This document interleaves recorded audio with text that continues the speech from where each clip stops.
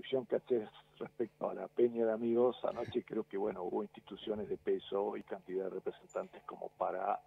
ampliar esto y darle una institucionalidad que corresponde, en primer lugar, ¿no? Atento a que anoche, eh, por primera vez eh, en, dependencia de la policía, ya que nos aclaró el jefe que eso antes no lo tenían permitido en otras gestiones, bueno, abriendo sus puertas a la institución policial, recibió a, bueno, eh, distintos este, representantes, en este caso el doctor Rossini en representación del Ministerio de Seguridad de la provincia,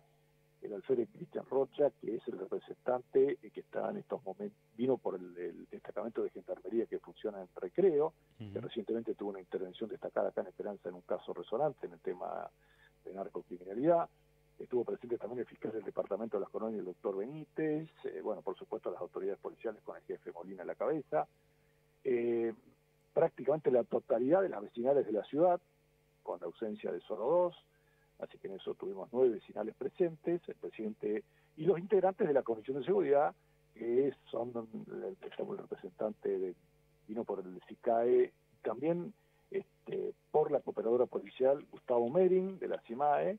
por la rural su presidente el doctor Diego Alonso, así que bueno, este, en eso, eh, y agrego este, la presencia de, se invitó esta vez, reitero, en una especie de convocatoria ampliada, a todo el cuerpo de concejales, pero solo se hicieron presentes, eh, bueno, la concejal Martínez, el doctor Elena y Sebastián Radeta. El resto de los concejales de la oposición no se hizo presente. Y bien,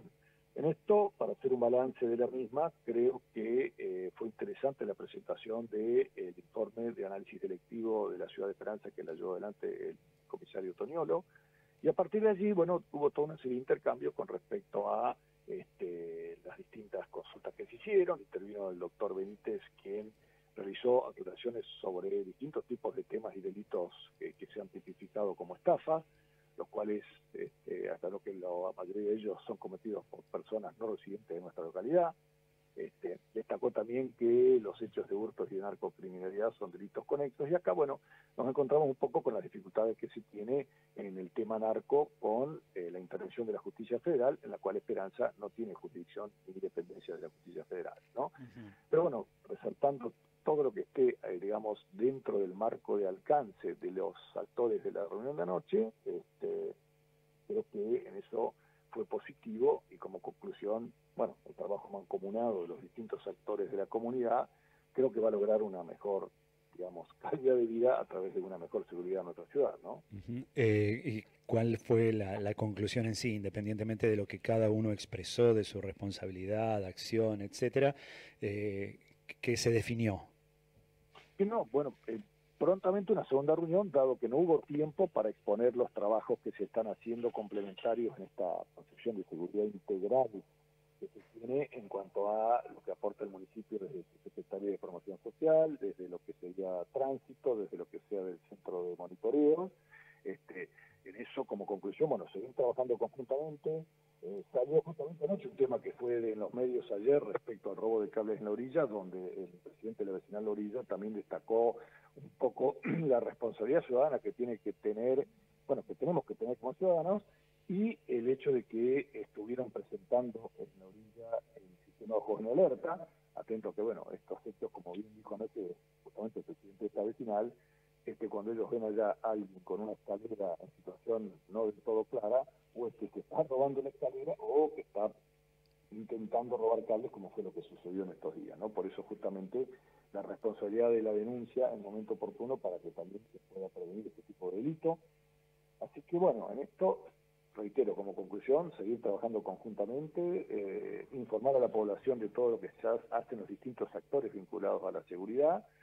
y este en esto, eh, reitero, eh, una, una gestión que por lo menos ayer eh, fue abierta, transparente y, bueno, concretamente de apertura a la comunidad por parte de la autoridad policial local, ¿no? ¿Y cuáles fueron los, los reclamos? Los reclamos son un poco, este, te diría, los de siempre y más que nada vinculado con el tema de venta de estupefacientes y, en este caso, este, este, este ida y vuelta que se da siempre con respecto a ver de qué manera, por un lado, eh, lo que en su momento dijo el fiscal Benítez, que prácticamente lo dijo en la reunión anterior, ¿no? Un altísimo porcentaje de los delitos eh, de hurtos, este, entraderas o distintos tipos de sustracciones en Esperanza, yo no recuerdo si la cifra hablaba de un 80%, están vinculados con adictos que lo hacen para satisfacer su demanda de consumo o para solventar su, cuestión de consumo. Así que en eso también hay que apuntar a una política integral de lo que son estos consumos de sustancias peligrosas o de adicciones para este, que ese tipo de eh, abordaje sea integral, no sea solamente represivo, digamos, abordaje integral y preventivo, ¿no? Este, y en lo otro, bueno, como siempre, algún tipo de reclamo por parte de recursos eh, para, por ejemplo, los Pumas. Este, en esto hubo un de vuelta, un intercambio de opiniones, porque bueno, no todo fue este, un, digamos, color de rosa, ¿no? Sino que bueno, en esto creo que estuvo abierto, eh, se dialogó, se reclamó, las autoridades tomaron nota. Bueno, seguiremos de cerca este tema y seguiremos con la periodicidad que haga falta como para seguir trabajando esta cuestión. Es la primera vez en el año que se reúne la comisión esta. No, no, ya hubo en el mes fin de junio, no recuerdo exactamente la fecha, principio de mayo, la primera que se hizo en la, en la sociedad rural, donde también participó el, el fiscal Benítez, que justamente en este tema recuerdo este, porcentaje que había dado respecto a la vinculación entre, entre los delitos menores y este, el tema de la narcocriminalidad, ¿no? Eh, recuerdo, sí, en esto, incluso, se hizo en la sociedad rural con los representantes de la Comisión de Seguridad, y en ese caso había sido acotada a los representantes que en su momento habían sido designados en una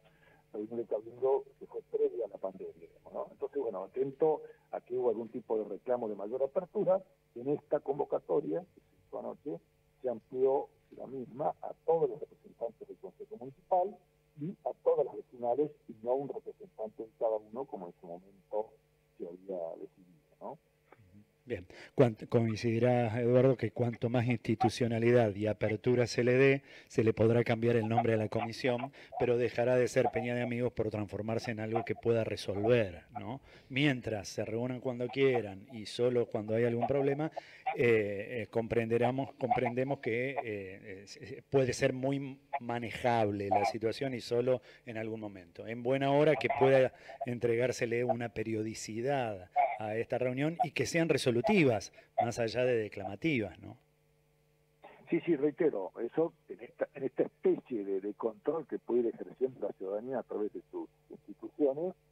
eh, atento a lo que que anoche,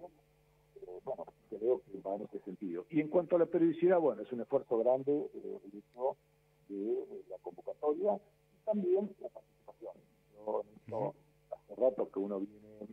observando incluso de otras ciudades, Rafaela con su consejo consultivo, por ejemplo, que siempre un poco lo tomo como referencia en muchas cuestiones que tienen que ver con desarrollo urbano, etcétera, también cuesta este tipo de este, apertura y participación. Así que creo que tenemos, creo, perdón, que tenemos que seguir trabajando y profundizando esta, esta, brecha, digamos, ¿no? Como para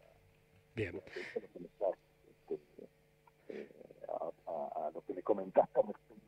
institucionalización